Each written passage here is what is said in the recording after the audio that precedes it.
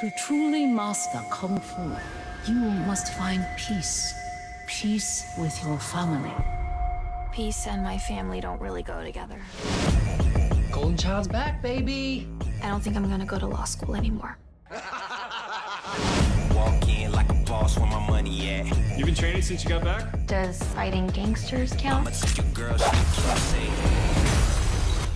Thanks for the assist. You're a kung fu butt-kicking hero?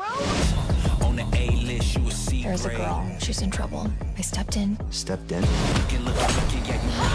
More like punch and kick. I've lived for this stuff.